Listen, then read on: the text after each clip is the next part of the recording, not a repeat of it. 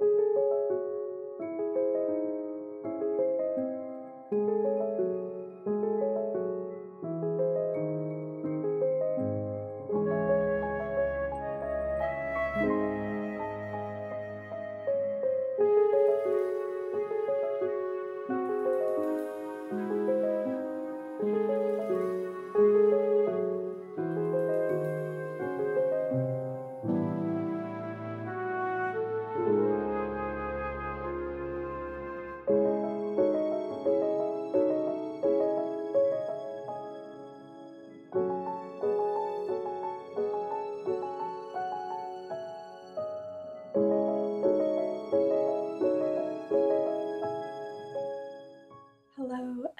welcome to the Wicker Library. My name is Leah.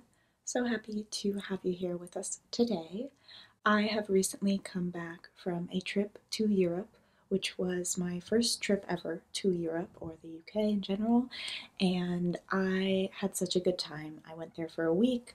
I went to London and I went to Leeds and I went to York, and it was such a good time. I came back with quite a few books, even though I am on a book buying ban. I knew I would allow myself to buy books while in the UK because there are UK editions of books that I cannot easily get here in the US, and I wanted to allow myself some souvenirs. So I came back with 10 books, which is definitely the most amount of books I've ever bought at once in a long, long time. So I will probably not be making any more book hauls uh, throughout the rest of this year. But these are some books that I recently bought that I haven't read yet, and I'm so excited to. And yeah, let's just get into those books because I want to talk about them. I want to talk about the stores that I got them at and yeah, let's just get into it. So, while in London, which was my first stop, we flew into London Heathrow and we stayed in London for two days and it was so much fun. I went to two different bookstores. I went to one independent, I think, bookstore that was really beautiful. It had all of these wooden staircases everywhere, and it was definitely one of my favorites that I visited. I forgot the name, but I will put it and I'll insert some clips of that travel day and that time. It was such a fun weekend. It was very hectic, very chaotic. We were doing a lot that weekend. We did some boat tours, we did some a lot of walking around. We did a lot of walking, but we saw the sights and we found this bookstore and it was also right next to a Waterstones, which this was one of the biggest Waterstones ever, I think. This is one of their big ones. And it was a fun time. It was a really large bookstore, and we did go to a Waterstones later in the week as well, somewhere else that I liked much more. It was smaller and a little bit more well curated, but I ended up getting three books while out in London, and the first of which was by Ash, Oak, and Thorn by Melissa Harrison, and this is a really sweet middle grade. It seems like it follows these little people, fairy creatures type things, and they awake from a slumber, and they basically have to go on this adventure. And I love the cover. This sounds so so warm and cozy, and I'm just really looking forward to reading it.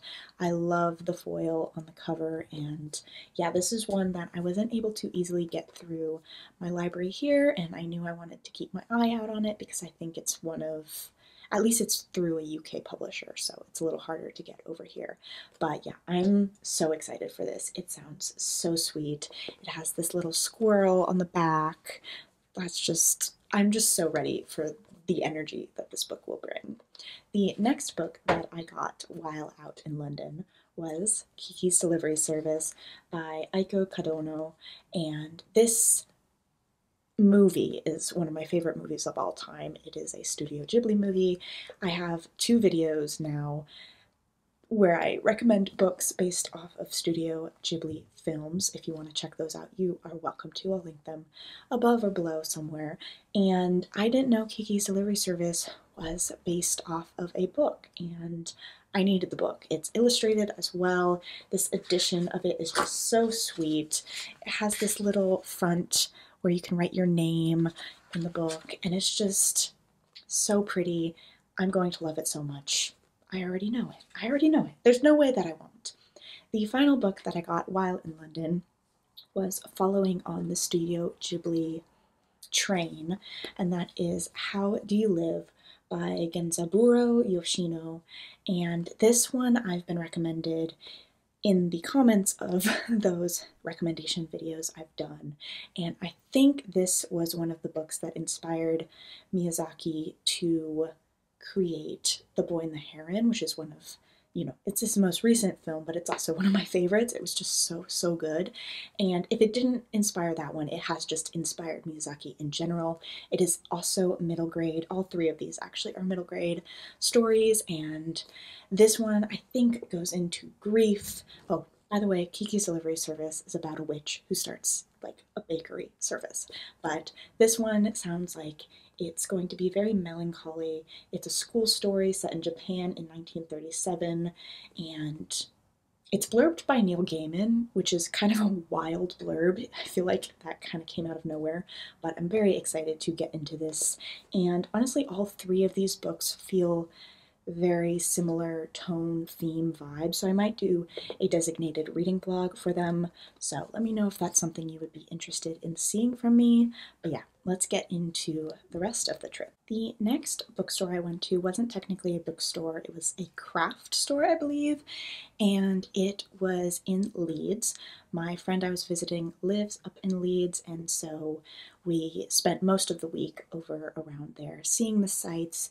We did a lot of walking yet again. We had some beautiful train rides that were really just so beautiful and fun. I love a good train ride. I'm I live in New York, but I also uh, live in California sometimes, not really anymore. I've, I've started to properly move to New York City, but I'm from California, and so public transportation and trains in general, not just the Metro North, but also Amtrak, I'm just very used to and familiar with. So it was really fun kind of going on the London rail line I don't I don't know what it's called there actually I forget but it was a very fun trip and the first bookstore we went to had all these bargain books, and I think I got this book for like four or five pounds, which all of the books there have not inflated like they have here in the US. So I got all of these books for such a reasonable amount, and I I will never be able to buy books like this again. But that was Murder Most Unladylike by Robin Stevens. This is yet another middle grade. but this is a series of books that also has sprayed edges, like Obsessed in Love. The UK do their covers better. I think there's no there's no debate here. But this one sounds really fun. It is a middle grade that follows these characters who set up a secret detective agency at a boarding school for girls. There are often not any real crimes to investigate, and then there is a murder. And it sounds like such a good time. I'm getting a bit of Benedict Society feelings from this. It might just be the cover. I don't know what it is about it, but I picked it up. I had a good feeling about it, and I'm really, really excited to go into it. The next book I think I also got at a Waterstones. It may have been the first Waterstones we went to. I kind of confused where I got books from and where, but it doesn't really matter. I think I got this one in London. I kind of forgot to talk about it. But that is The Dallergut Dream Department Store by Mai Lee. And this is translated from Korean. Also, a lot of the books I showed in the first bit were translated Japanese, but this one sounds so fun. It's magical realism, it's a little bit wacky, it's a little bit weird. It talks about this department store that sells dreams, and there's something that goes miss in it. I think something either is stolen or something goes missing, something is wrong, and it just sounds like a fantastic premise. It sounds very warm and comforting as well. There's definitely a theme to the books I was picking up, the books that I was looking for, and this one just sounds so much fun. I'm also obsessed with the cover. I just cannot wait to dive into this one. So these next four books I did get at a Waterstones, and that was a Waterstones in Leeds, and this was my favorite Waterstones we went to. We only went to two, but this was just by far my favorite. The energy was so calm. There was such a nice little cafe in it. I know Waterstones is basically the Barnes & Noble of the UK, and I was trying to go to a good amount of independent bookstores as well, just because you know, it's always great to support independent bookstores as well, but Waterstones had just such a fantastic selection, and I knew that I don't know when the next time I'll be in the UK is, so I wanted to really experience that store, and I got four books. The first of which is one that I had my hearts set on getting because the UK cover is just so superior. It had recently come out in paperback, and I just needed it because this is just the normal paperback of this book. The spine, guys, the spine. Look at that. This is just, this isn't a special edition. This isn't, this is just the regular UK paperback of The Adventures of Amina al-Sirafi by Shannon Chakraborty. And this is a pirate novel. It's adult, it's fantasy. I hear it's rather humorous as well.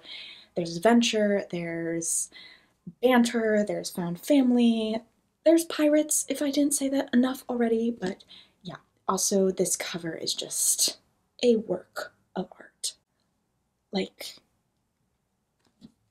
I look at it. Just look at it, y'all. Like, anyway, yeah, I needed I needed to get my hands on this one. The next book I found was another work of translated fiction, and I believe this is translated from Spanish, but this is Blood Red by Gabriela Ponce, and this cover is crazy. Like, there's holes in it, and then it's like the red.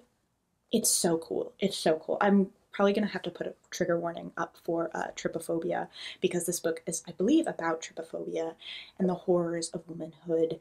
And it sounds gritty, it sounds dark, it sounds fucked up and twisted. And that's the kind of shit I eat up, you know? Like, women going kind of insane, and there's horror, and there's desire, and there's creepy shit happening. There's blood happening. Um, it just sounds like a great time, and I'm so glad I found this. I don't think I would have found it otherwise, so yeah, I'm really excited to pick this one up. The next book I got is also translated, and that is Vladivostok Circus probably butchering that pronunciation. I'm so sorry. And this is by Elisa Shua Dusapin. And this book also just looks so good. Like this cover is so wacky. I'm just so excited to read it. I know it's about a circus. I know there's like weird dolls kind of come to life. It sounds very surrealist, very trippy, and I believe it's translated from French. This one sounds really good. I don't know much about it going into it, but that's kind of how I enjoy to read my stories. The next book that I picked up, and the last one I picked up at a Waterstones, was Brutes by Dizz Tate. I prefer this cover over the US cover. It's just, this is going to be on my summer TBR along with my next and final book I have to talk about, but this one goes over girlhood and obsession and just like the sticky grossness of desire and again, girlhood. And this just sounds very queer, very messy, very twisted and dark as well. And it just sounds so good. It sounds like such a fun time, and I'm so excited to get into it this summer we've reached the final book. And before I talk about the book, I want to talk about the bookstore. The bookstore that I found this book at was so fun. It is a queer independent bookstore that had all queer literature in it. It was this pink bookstore from the outside. It was so cute. The uh, the person at the desk, at the register, was so kind, so sweet, and helpful. And it was by far my favorite bookstore that we visited. It was just such a good energy in there, and the selection was wonderful. There were so many queer books that I, you know, had on my radar. There were US covers, there were UK covers, there were special editions, there was zines, there was just so many kinds of books, and a lot of them I didn't know about either. And this one I did happen to know about though, which is Sunburn by Chloe Michelle Howarth. And this book is also on my summer TBR because of reasons very clear to you. And this takes place in the early 1990s in an Irish village, and it also goes into girlhood and obsession and female friendships that go a little further than friendship, and it just sounds like a fever dream. And I'm so. a bookmark fell out of it, but I'm so excited to get into this book, and I'll probably put out maybe a summer TBR at one point. I know it's spring, I know it just happened to be spring, like it just turned spring, and I do have a spring TBR, but I don't know if I'll share it because I don't know if I'll stick to it, and I don't want to have people holding me to something that I know I won't follow through with. But yeah, this one is definitely going to be read this summer because just look at it. Look at it yeah, yeah, I had to get it. Also, this is the bookmark that fell out of that book. It's from the bookstore, which is called The Bookish Type, and it's queer indie bookshop. This was a free bookmark, and it was so cute, and I just needed to show you all. So those are all of the books that I have for you all today. If you know of any of these books, if you've read any of these books, let me know in the comments. If you liked this video, feel free to give it a thumbs up and subscribe if you're not already. We would love to have you join the Wicker Library. We have a good time over here. And yeah, that was my little time in the UK and it was just it was wonderful. It was a wonderful trip, and I'm so grateful and lucky that I was able to go on this trip. I didn't think I would be able to like travel like this so serendipitously. Like there was a lot of planning that went involved, obviously, but for me, that was way out of my comfort zone. I'm a big homebody and I didn't really think I would be traveling all that much, but traveling with my best friends was just so wonderful and I have so many good memories and books that came out of it. So I hope you all enjoyed. If you made it to the end of this video, feel free to comment the stack of books emoji because my TBR has now like doubled and I am going to be spending the rest of the year dwindling it down and making sure that I stick to my book buying ban as well as read the books that were on my TBR first because those are the priority books. Even though I'm so excited to just dive into these new books, I need to let them simmer on my shelves a bit because I need to read the other ones. But I will see you all in the next video.